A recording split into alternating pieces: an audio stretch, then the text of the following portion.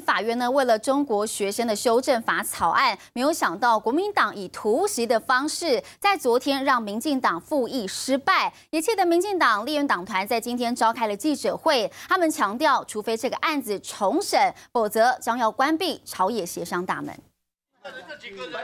又是一波意识冲突，国民党强渡关山，会议主席立委吴玉生发动突袭，硬是封杀了民进党提出的中国学历复议案。事隔一天，气坏的民进党立院党团全员到齐，强烈反击。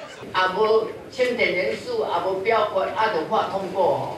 所以，阮无承认昨昏即个表决的结果。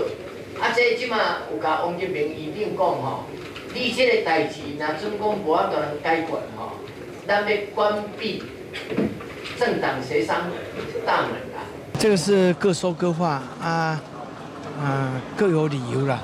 不过现在我们正在进行哈啊协调，那希望呢哈啊经过啊彼此间互相沟通讨论以后取得谅解。立法院长王金平低调回应民进党的关闭协商说，不过民进党说关闭协商可绝不是说说而已。党团认为，如果放任国民党这一种违法乱纪的事情继续下去的话，国会啊的议事运作将会沦为。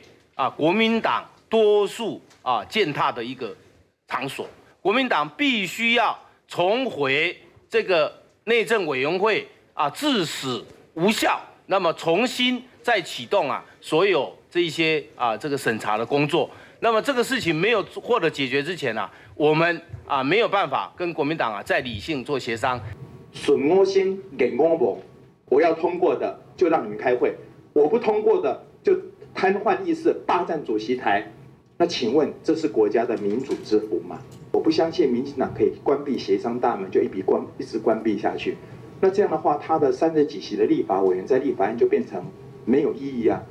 啊，那是不是意味着他也从此就这样认输，就这样认了呢？虽然民进党只有三十三席，但是我们是民主法治的国家，就算我们。只有一席，也应该要遵守议事程序。难怪马英九没有民主素养，难怪国民党的委员也没有民主素养，所以他们可以用多数的暴力，完全不顾议事程序正义。吴玉生的话说的挑衅，民进党要国民党懂得尊重议事规则。中国学历案，朝野还有的角力。民事新闻重报道。